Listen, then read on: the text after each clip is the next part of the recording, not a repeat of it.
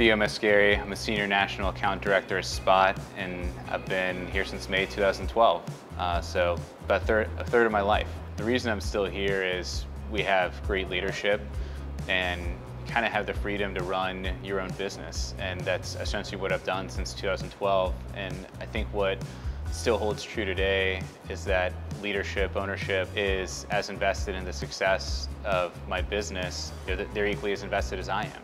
And, and that means a lot to me. You know, they'll you know, give professional advice to make sure that we're, we're doing the right thing and continuing to grow the business in the right way. So an aha moment that I had that really made me take off was I started to convert a lot of weekend shipments when there was uh, a polar vortex into long-term contract business and it made me realize that our competitors weren't honoring their pricing and commitments like like we did and that actually gained a lot of trust with our existing customers and we saw substantial growth after that period.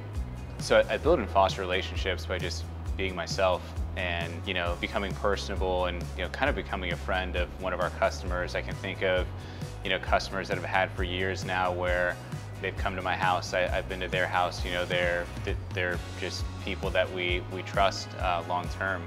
Uh, in terms of bringing on new customers, I like to stay in an industry that I'm familiar with. Uh, makes it a lot easier. I'm, I'm familiar with different shippers and our ultimate goal is to connect like shippers in the industry. So I think it was 2015, I remember Andrew Elsner was telling me that I really needed to bring on a team member and that's where I could focus on my sales growth and help grow the business and he was right we grew 120% that year hired another team member and grew another 90% the following year and just continued to expand from there so you know always bet on yourself. I would say any challenge we face, you know, if, if, there's a delay at a ship or if there's a delay with a carrier, it's communicate to all parties and make sure everyone is informed as things happen. And that's how we tend to overcome our challenges. If there is, you know, an opportunity that, that we're seeking that has a, a tight timeline, you know, it's, it's, assigned to one team member and, and we get the job done um, within that timeline.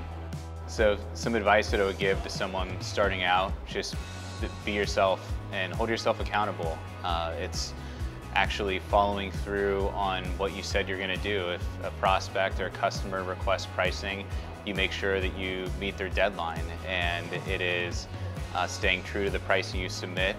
Uh, it is accepting every tender and there, there's something that I kind of uh, live by and it's if not now when and don't let yourself off the hook. And if you want to grow and you want to bring on a new customer or prospect, whoever it may be, you just need to hold yourself accountable and go after it.